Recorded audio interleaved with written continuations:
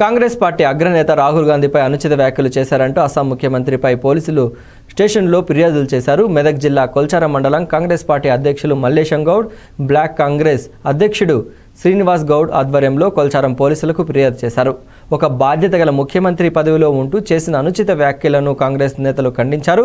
వారు క్షమాపణ చెప్పి తమ వ్యాఖ్యలు వెనక్కి తీసుకోవాలని డిమాండ్ చేశారు. వ్యాఖ్యలు వ్యాఖ్యలు చేసిన అస్సాం సీఎం విశ్వ అస్సాం సీఎం హేమంత బిశ్వ శర్మ ఈ ఒక ముఖ్యమంత్రి హోదాలో ఉండి ఉన్నతమైన పదవిలో ఉండి అందులో జాతీయ పార్టీకి ఒక సీఎంగా ఉండి వాళ్ళ మన భారతదేశం గురించి వాళ్ళ ప్రాణాలను పరంగా పెట్టిన కాంగ్రెస్ పార్టీ అధ్యక్షుడు మా- మాజీ అధ్యక్షుడు అలాగే మాజీ ప్రధానమంత్రి మనుమడు మాజీ ప్రధానమంత్రి కుమారుడైన రాహుల్ గాంధీ పైన ఇలాంటి వ్యాఖ్యలు చేయడం బీజేపీకి తగింది ఇది.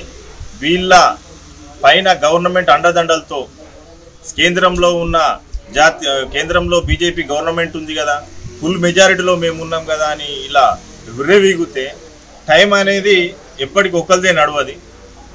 ఎప్పుడైనా కాలచక్రం సగం వెలుతురుంటే సగం చీకటి ఉంటుంది. ఏది శాశ్వతం కాదు. మన నోటి నుంచి మనం మనం ఏం మాట్లాడుతున్నాం ఏం చేస్తున్నాం అనేది శాశ్వతంగా ఉంటుంది కాబట్టి ఇలాంటి చర్యలను ఇలాంటి పదాలు ఉచ్చరించిన ఈ అస్సాం సీఎం వెంబడే వెను వెంటనే ఈ వ్యాఖ్యలను ఉపసం